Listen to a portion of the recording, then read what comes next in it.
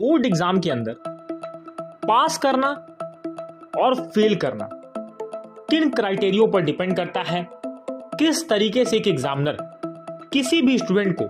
पास करता है और कौन से ऐसे स्टूडेंट हैं जो बोर्ड एग्ज़ाम्स की जंग को नहीं जीत पाते और अपने एग्ज़ाम्स में फेल हो जाते हैं, यह जानना एक स्टूडेंट के लिए बहुत ज़्यादा ज़रूरी होता है कि आखिर एग्जामिनर आपको किन क्राइटेरियो पर जज करता है, जिससे आप अपने एग्ज़ाम को पास नहीं कर पाते, एग्ज़ाम के अंदर पासिंग मार्क्स स्कोर नहीं कर पाते। आज के इस वीडियो में हम यही बातें जानने वाले हैं कि आपको कौन सी ऐसी गलतियाँ नहीं करनी है अपने बोर्ड एग्ज़ाम्स में, जिनकी वजह से आपको फेल होना पड़े और आपको अपने एग्ज़ाम में असफलता मिले। सबसे पहले जान लें कि बोर्ड एग्ज़ाम के अंदर हर टीचर को यह डायरेक्शन बोर्ड की तरफ़ से होता है कि उसका रिज़ल्ट बेस्ट से बेस्ट होना चाहिए। इसीलिए आप देखते हैं, टॉपर्स की एक बाढ़ सी आ जाती है और लगातार बोर्ड एग्ज़ाम में बहुत सारे स्टूडेंट्स टॉप करते हैं, ज़्यादा से ज़्यादा मार्क्स उन्हें दिए जाते हैं और पासिंग परसेंटेज हर बोर्ड अपना बेहतरीन रखना चाहता है, क्योंकि अगर उसका पासिंग परसेंटेज कम होगा तो उसके ऊपर सवाल खड़े किए जाएँगे, उसके पूरे के पूरे सिस्टम को कहीं ना कहीं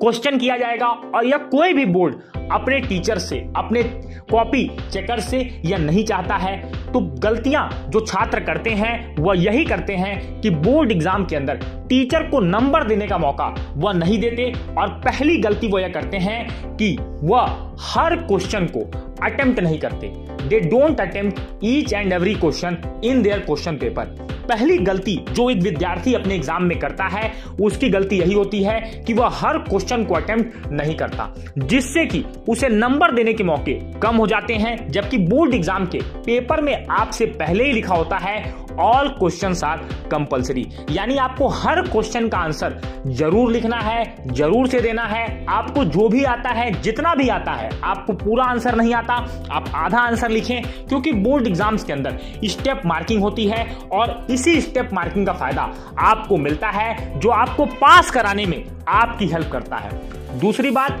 बहुत सारे स्टूडेंट्स सीट्स को ब्लैंक छोड़ देते हैं। यानी कुछ विद्यार्थी ऐसे होते हैं जो साल भर पढ़ाई सीरियसली नहीं करते, लेकिन एग्ज़ाम के अंदर वो बहुत ज़्यादा भी नर्वस होते हैं और वह यह सोच लेते हैं कि अब मैं एग्ज़ाम के अंदर पास नहीं हो पाऊँगा तो वह अपनी कॉपी को as it is blank sheet छोड़ करके आ जाते हैं। जिससे एग्जामिनर के पास कोई भी चांस नहीं बनता कि वह आपको 33 परसेंट मार्क्स यानी कि 70 में 23 मार्क्स 80 में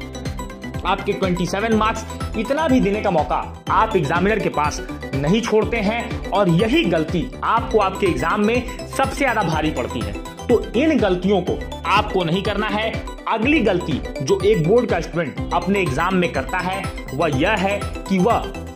किसी भी क्वेश्चन के आंसर को, बिना क्वेश्चन को पढ़े, अपने मन से ही कुछ भी लिखने लगता है। जब भी आप आंसर लिखें, इस बात का ध्यान रखें कि बोर्ड एग्जामिनर का जो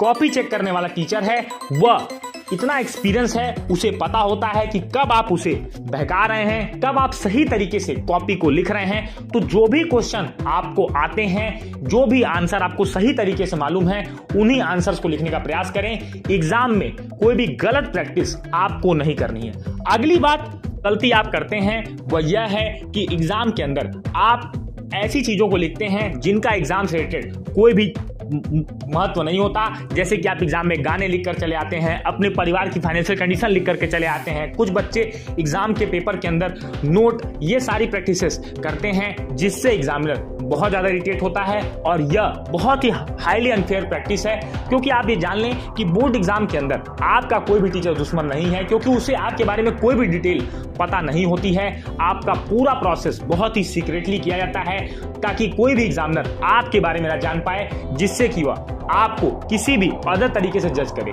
इसलिए जब आप बोर्ड परीक्षा को देते हैं तो आपको इन बातों का ज़रूर ध्यान रखना चाहिए। बोर्ड एग्ज़ाम के अंदर आपको इन गलतियों को नहीं करना है, जिससे कि आप अपने एग्ज़ाम में फेल ना हो और अच्छा रिज़ल्ट अपने बोर्ड एग्ज़ाम में आप हासिल करें। उम्मीद है कि यह वीडियो आपको उन बच्चों के बारे में, उन गलतियों के बारे में बता पाया होगा, जिनकी वजहों से आप बोर्ड एग्ज़ाम को पास नहीं कर पाते हैं। बोर्ड एग्ज़ाम में फेल हो पा फेल हो जाते हैं। मिलेंगे। अपने अगले वीडियो में इस वीडियो को अपने हर दोस्तों, मित्रों, भाइयों, बहनों में ज़रूर शेयर करें, जो बोर्ड परीक्षा 2024 को देने वाले हैं। मिलेंगे अपने अगले वीडियो में। तब तक के लिए जय हिंद, वंदे मातरम।